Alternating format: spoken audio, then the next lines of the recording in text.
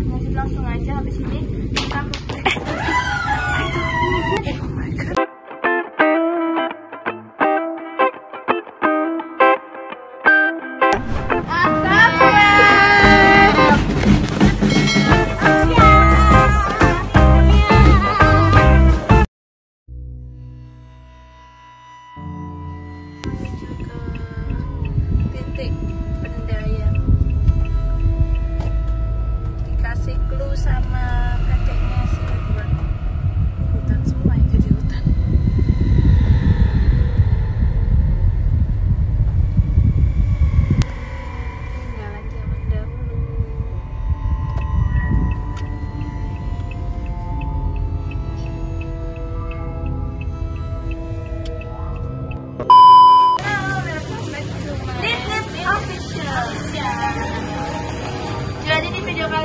kita ke sini karena si Abim kemarin tuh dikasih mimpi sama kakaknya Edward.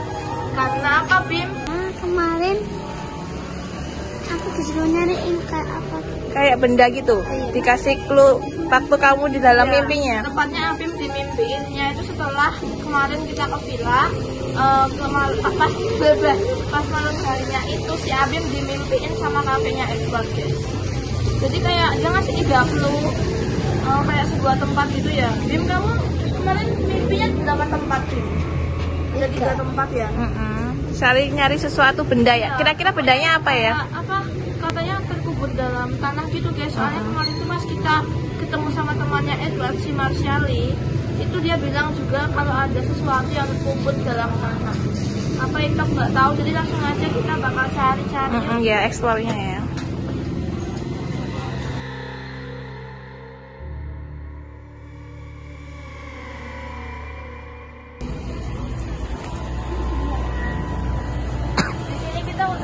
Memasukin sebuah tempat.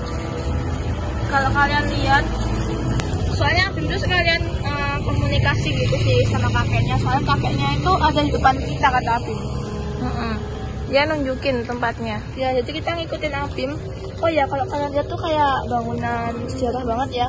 Bangunan-bangunan zaman Belanda sepertinya. Soalnya kelihatan dari bangunannya udah tua, guys.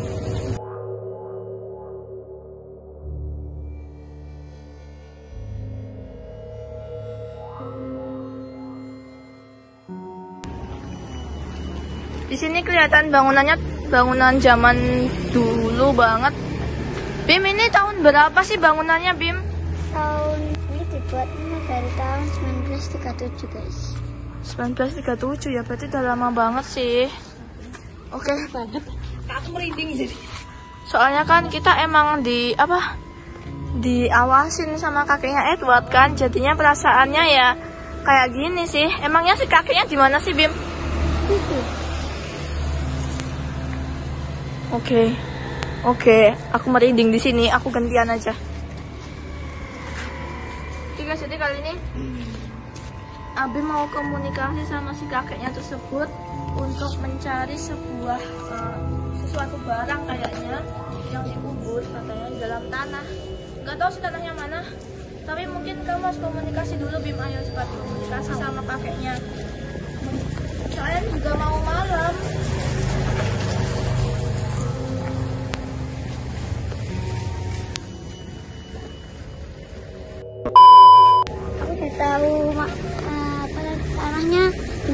Bendanya. Ya, itu tanahnya yang menyimpan sesuatu itu. Oke, jadi Abib itu habis komunikasi sama kakeknya si Edward. Jadi mungkin si kakeknya itu ngomong apa Bim sama kamu? Dia ngomong apa Bim? dia ngomong kayak itu benda situ Jadi si kakeknya si Edward itu dia bilang kalau dia naruh barang sekitar sini guys. Jadi langsung aja kita bakal cari. Katanya lokasinya deket sini guys. Kita harus cari sini gercep banget sih. Soalnya ini mau malam. Gimana ya? Dia bilang terkubur apa dia kayak meletakkan sesuatu gitu. Tapi tempatnya tuh sembunyi. Kita nggak tahu di mana. Di mana, Kak?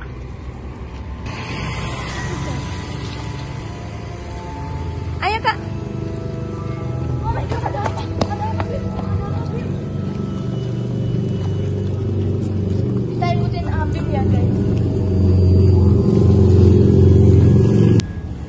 Coba diambil kak.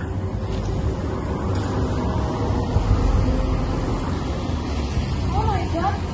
Guys, beneran ada dong. I, itu apa sih? Itu kayak Kayak batu zaman dulu ya? Iya bener. Lihat lihat lihat. Eh iya guys. Ini kayak batu sih. Batu kayak batu apa ya? Keramat gitu nggak sih kayak jimat-jimat zaman dulu? Ini batu dari kakeknya Edward guys. Berarti udah lama Katanya banget ada usianya.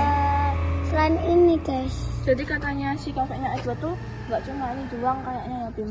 Masih ada beberapa lagi soalnya Bim tuh dikasih clue nggak cuma di tempat ini tapi ada di suatu tempat Ada lagi. tiga tempat. Iya. Ini ini saat Ini ini yang pertama.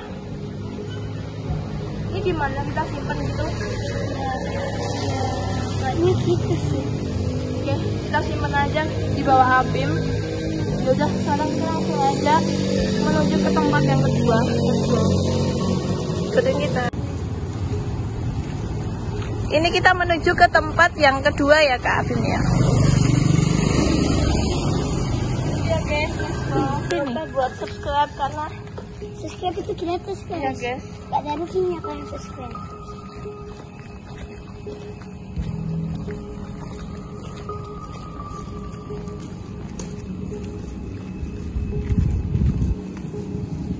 Dalam sini Kak.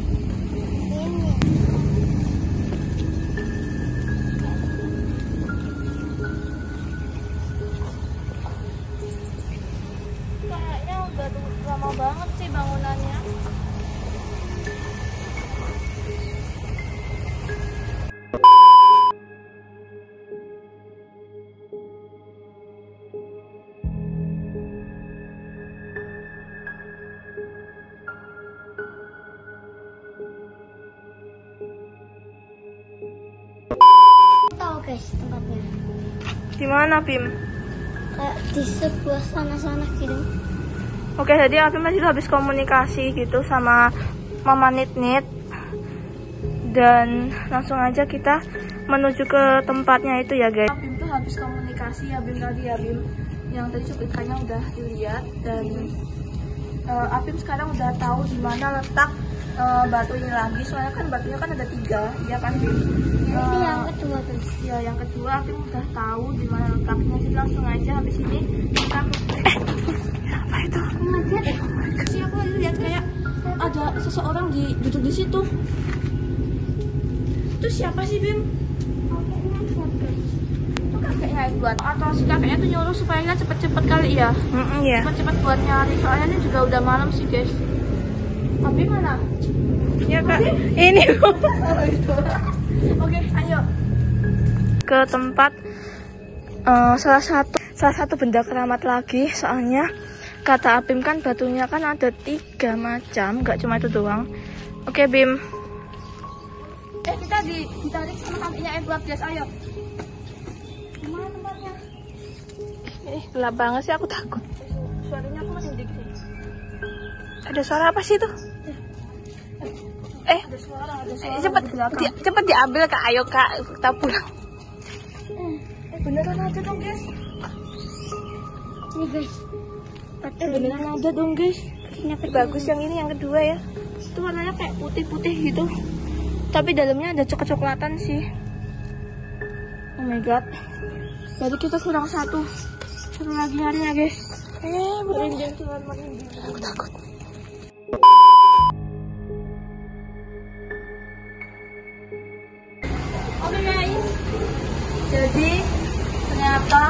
tempatnya itu udah jadi sebuah kafe. Dan emang benar banget sih ini di bawah ini banyak banget kerikil, tapi aku yakin eh, pasti salah satu batu keramatnya itu ada di sebuah ada sekitar sini guys batu ini. Soalnya kan tapi kita susah nyarinya ya nggak sih? Mm-mm. jadi Abdul harus eh, ada bantuan kakek sih. Kakek Edward Bim, kakek Edward dia nggak mau komunikasi dulu situ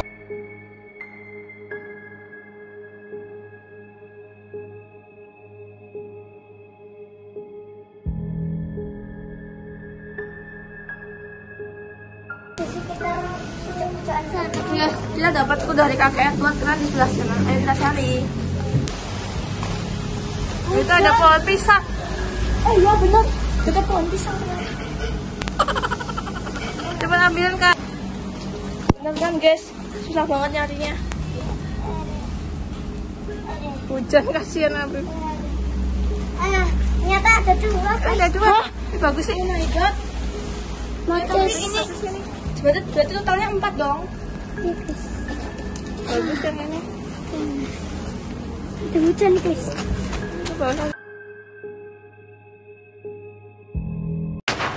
Matur suwun wis mampir neng ya aja lali di subscribe yo.